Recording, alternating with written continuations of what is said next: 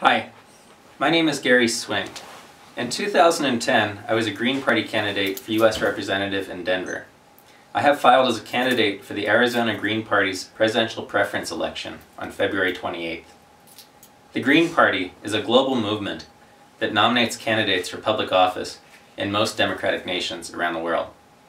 The Green Party is founded upon the principles of nonviolence, ecology, social justice, and grassroots democracy. Green Party candidates have been elected to national parliaments in many other countries, primarily because most democratic countries use proportional representation voting systems, rather than the winner-take-all voting system that we use in the United States.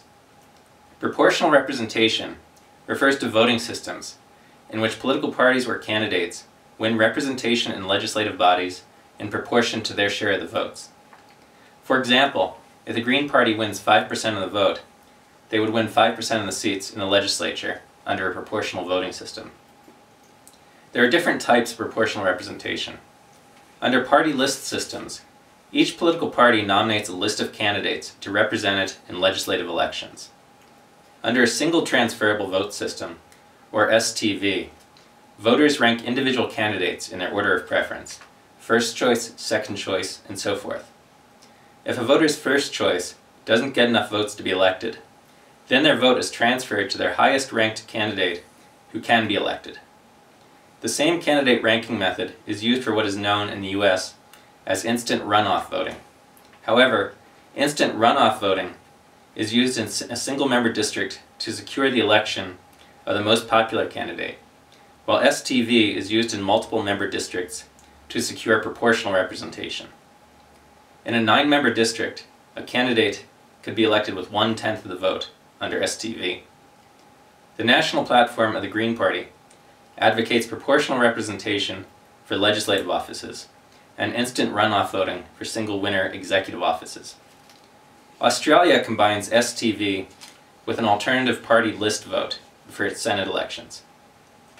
95% of Australian voters choose to cast what they call an above-the-line vote for a party, rather than ranking the individual candidates in what they call a below-the-line vote. As a Green Party candidate, I propose to abolish the U.S. Senate and elect the U.S. House of Representatives by the method of proportional representation used to elect Australia's Senate. True proportional representation enables most voters to elect representatives of their choice and makes every vote count. This eliminates the perceived problem of voting for the lesser of two evils under a two-party system, while providing fair representation for a diverse population and encouraging more substantive public debate of real issues. Under the winner-take-all voting system that we have here, elections are largely a meaningless charade. The outcome of most elections is predetermined by the demographics of each voting district. Most districts are dominated by single party. The corporate media only covers establishment candidates who represent their narrow agenda. They ignore dissidents who advocate genuine reform and exclude them from candidate debates. The corporate media treats elections like horse races. They focus on distractions instead of real issues. Campaign financing corrupts the political process, making elected officials indebted to the corporate interests that finance their expensive campaigns.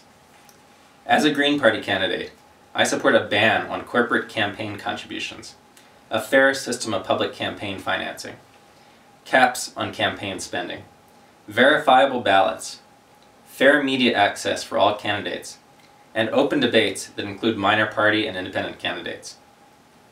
The office of the president has become a military dictatorship, regardless of who holds the office.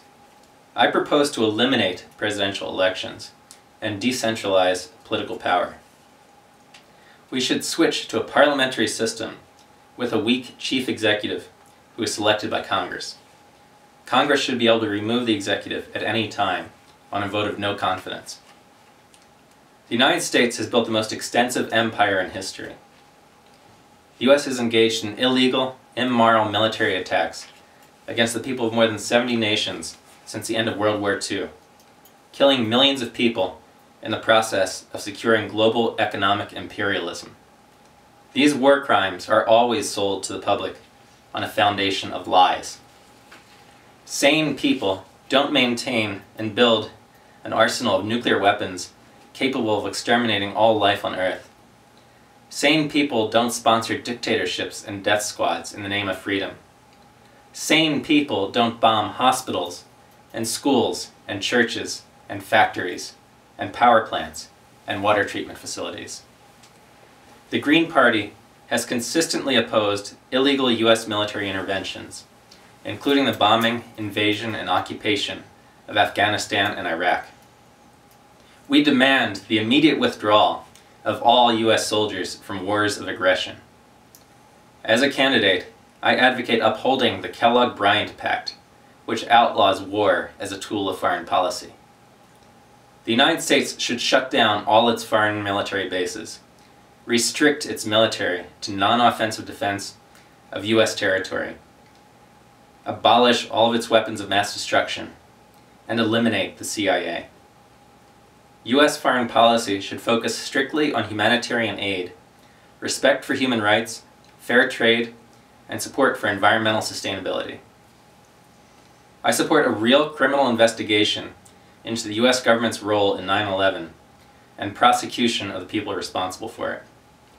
9-11 was a false flag operation orchestrated by traitors at the highest levels of the U.S. government in order to create a false pretext for wars of aggression, seizure of dwindling oil supplies, and destruction of our civil liberties.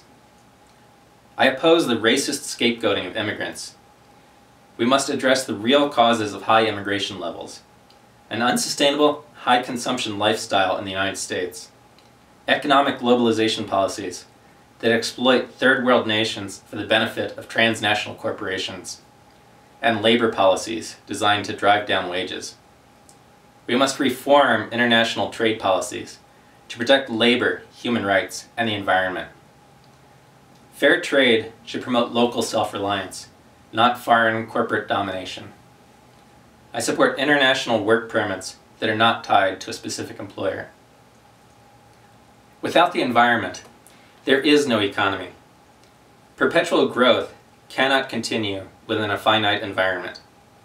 Climate change is happening now as a result of human industrial activity. We must reduce energy consumption at least 50% by 2030, restructuring our economy to run on solar, wind, geothermal, and hydroelectric power. We must reduce greenhouse gas emissions at least 40% by 2020 and 95% by 2050. I support public investment to create jobs in energy conservation, renewable energy, sustainable agriculture, green construction, and mass transportation. I support the use of carbon taxes to include environmental impacts in true cost pricing of new goods and services. We must create an environmentally sustainable economy.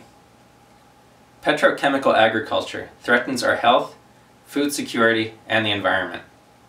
I support permaculture, organic farming, and urban gardens. The livestock industry contributes to global warming, land degradation, air and water pollution. We should shift subsidies from animal agriculture to plant-based agriculture and small local farms. Overpopulation threatens our future. Human population has grown from 1 billion in 1804 to 7 billion now. If the average person on Earth consumed as much as the average American, the World Wildlife Federation estimates that the Earth could not sustain a population of more than one and a half billion people. We need to change the way we live to reduce consumption and decrease population by reducing birth rates.